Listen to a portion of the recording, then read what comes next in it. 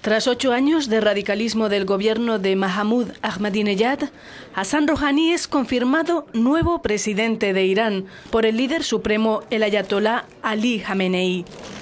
Este domingo, Rouhani jurará su cargo ante el Parlamento y anunciará su gobierno. Por primera vez se hará ante responsables de gobiernos extranjeros invitados para la ocasión. Los iraníes tienen las esperanzas puestas en el nuevo presidente, que se ha mostrado a favor de mayores libertades personales y sociales. Ha denunciado la censura en Internet y criticado la segregación entre los dos sexos. Con 64 años, Hassan Rouhani es un clérigo de corte moderado y conciliador que ha prometido llevar adelante una política de acuerdos constructivos con el mundo para solucionar la crisis nuclear y levantar las sanciones impuestas por Occidente.